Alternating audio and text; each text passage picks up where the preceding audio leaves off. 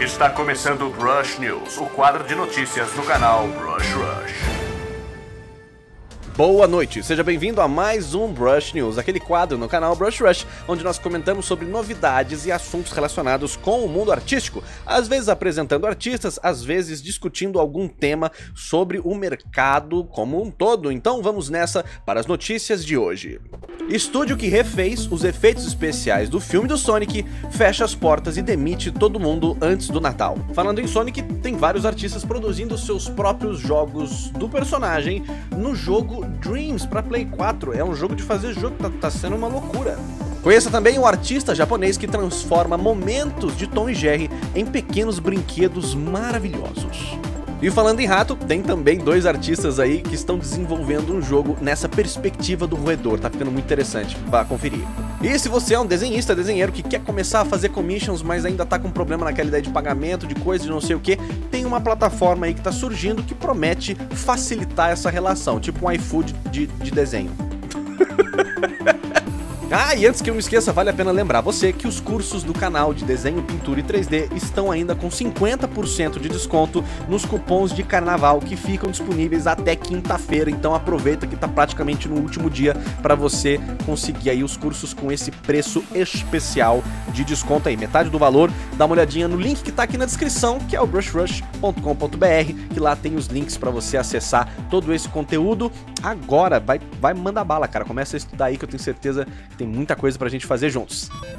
Essa notícia do estúdio que refez o Sonic ter sido fechado e demitido os artistas que trabalharam, que nem maluco para completar isso, pro filme tá saindo agora, aconteceu na verdade no finalzinho do ano passado, né? Em 2019, ali em dezembro, que o pessoal meio que foi demitido, mas tudo isso aconteceu de uma forma um tanto esquisita, né? A gente não tá tendo aquelas informações oficiais. Muito tá acontecendo por causa dos artistas terem confirmado algumas coisas, é, né? Espalhado alguns e-mails que tinham sido enviados para eles lá no Reddit. Então tem muito disso que tá esquisito ainda, né? O Cartoon Brew foi um dos primeiros sites aqui que trouxe essas notícias comentando sobre o o Moving Picture Company né, ter sido fechado aí no final do negócio. Essa era a unidade de Vancouver, que era uma das que tinha trabalhado em vários outros filmes também, como aparentemente o Rei Leão aí, o remake, e também o, o filme do, do Detetive Pikachu lá. Dois filmes que foram muito comentados, principalmente por causa dos efeitos especiais também, então é, é, é, é tão frustrante, né? Parece que a empresa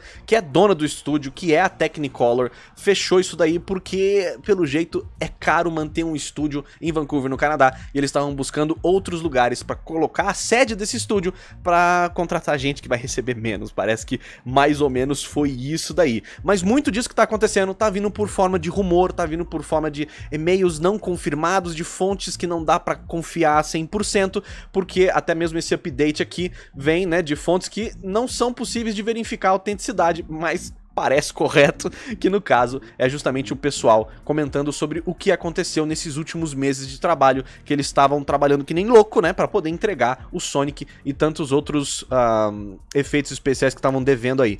É muito frustrante e eu queria trazer essa notícia, apesar dela ser meio velha, né, dela ser ali do final de 2019, porque agora que o Sonic saiu, a notícia tá voltando a ser comentada, justamente porque é muito frustrante você pensar que a, a gente, todo mundo aqui desse canal, também quer participar desse meio artístico, desse mundo, e essa é mais ou menos a realidade que a gente vai enfrentar lá fora de alguma maneira ou de outra. É esse mundo que o seu sonho de trabalhar com arte, ele se encaixa dentro de uma engrenagem comercial, de um negócio que precisa fazer lucro. E às vezes isso daí que tem que tem que ver como é que funciona. Então, não esqueça que isso também é um elemento e fica de olho nessas notícias, porque se você tem essa ambição, isso daqui é importante, né? Isso daqui é, reflete muito sobre tudo que vai acontecer no seu futuro também. Então, fica de olho nessas notícias, dá uma olhada no que está acontecendo nos estúdios. Esse também foi um dos estúdios que fez aquele negócio da vida de Pi, que foi muito comentado na época. O pessoal teve até aquela campanha de colocar uma imagem verde no avatar. Eu lembro porque eu pus, que era meio que assim, tipo, galera, vocês têm que valorizar os artistas que trabalham com efeito especial também. Os caras mexem com 3D e tudo mais, mas não é o robô que tá fazendo. É artista, é alguém que tá na mão animando, mexendo, colocando luz, sombra, textura em tudo isso que a gente aproveita nos filmes e no cinema. Então é, é muito louco ver que esse é o estado atual e o que o pessoal estava comentando, que é o tópico que eu quero trazer para discussão, é que o boicote funciona? Daria para boicotar o filme do Sonic? Não tem como, né? O, o, essa era a discussão que estava acontecendo no Twitter também. A Kate Nietzsche aqui comentou, né? Ela, ela retweetou de novo essa notícia. Meio que falou, né? Vai assistir o Sonic, porque o boicote não funciona. Então, é, você fica assim, putz, cara, é complicado. A única coisa que a gente pode esperar é que o pessoal que trabalhou com o Sonic e ficou sem trabalho no final de esse ano aí de 2019 tenha conseguido aí novas oportunidades e consigam se reinserir no mercado o mais rápido possível para continuar, né, né, provendo para a família deles.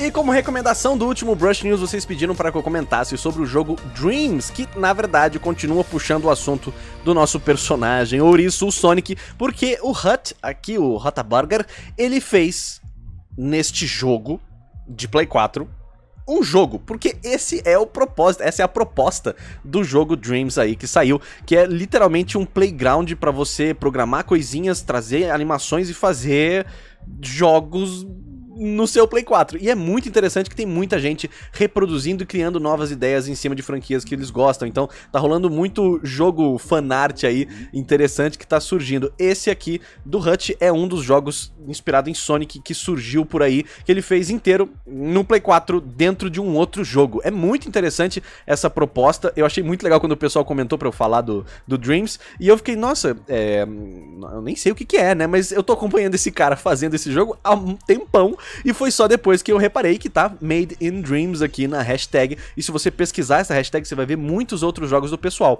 E o que acontece é que parece que isso fica disponível para você jogar dentro ali da, da biblioteca desse jogo. Então, se você comprar ele pro seu Play 4, você vai poder ter acesso a esse e outros jogos que os fãs fizeram. Eu acho que isso aqui é a evolução máxima do, do, do, do Happy Wheel, sei lá, sabe? Que o pessoal criava fase. Mas isso aqui é um absurdo, né? O pessoal tá produzindo muita coisa diferente e é muito legal. Eu acho que isso daqui. É, apesar do, do, de um certo estranhamento, porque né, tem uma certa propriedade intelectual aqui, o que vai acontecer é que isso vai inspirar de muitas formas as empresas originais a ver quais ideias funcionam e quais não funcionam com uma grande antecedência. Vamos ver o que, que vai levar este negócio aí da pessoal produzindo jogos dentro de jogos no Dreams.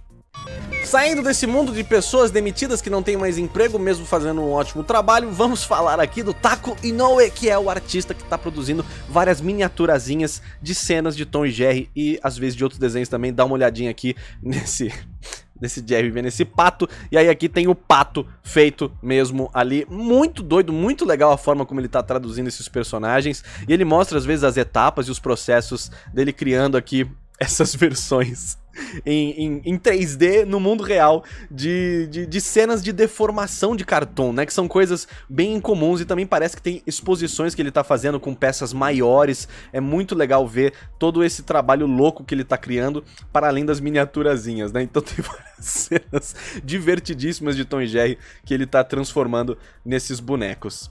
A gente fala sobre o que faz um fanart ser interessante, o que faz as pessoas gostarem desse tipo de coisa, e eu acho que a transformação de mídias é uma das formas muito legais de você trazer uma coisa diferente pro seu fanart, né? Se você tá desenhando uh, algo que já é um desenho e você faz igual, é, fica meio próximo demais, mas fazer uma escultura de algo que é desenhado, você já tem um ganho ali. Fazer um 3D do que é desenho, fazer um desenho do que é 3D, toda essa mudança de mídia parece que chama muita atenção da galera, mas em especial é ver realmente, né, coisas que eram é, absurdos do desenho, caricaturas irreais sendo transformadas aqui em coisas palpáveis em três dimensões que são maravilhosas. Então fica aí a recomendação para você conhecer esse artista e um monte de coisas divertidas que ele faz no trabalho dele, porque dá para ver que o cara tem um acesso e um alcance muito grande.